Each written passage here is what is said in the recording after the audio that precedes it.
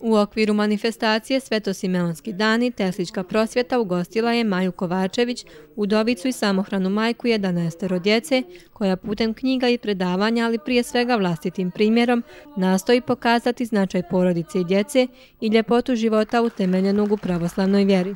Pre svega bilo i reći o mojoj porodici, ja sam inače majke 11 djece i pričali smo naravno o, toj temi, kako da u ovom veku znači, ne nestanemo, kako je živeti sa više djece, zaista da li je to teško ili nije.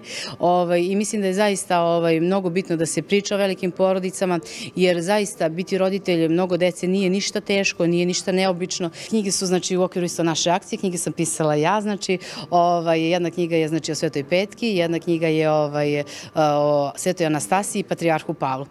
Ja eto, znači, od tih knjiga izdržavam svoju porodicu i svoju decu i e, nisam ja neki veliki pisac, to i pričam na svim promocijama, ja to više pišem dušom i srcem. Ovom prilikom, a u susret prazniku Svetog Simeona Mirotočivog, predstavljena je i majina pjesma posvećena ovom velikom srpskom svetitelju.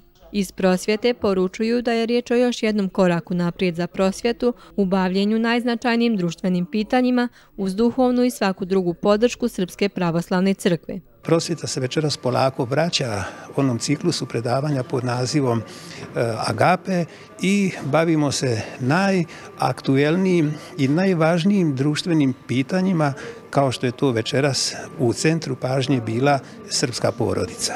Ja vjerujem da će i djeca koju Maja vaspitava izrasti u dobre i čestite ljude koji će biti po mjeri svetosavske misli djela, koji će se Boga bojati, a ljudi stidjeti i u svemu svjedočiti ono što je svetosavska misao i svetosavsko opredeljenje kojim vijekovima živi srpski narod.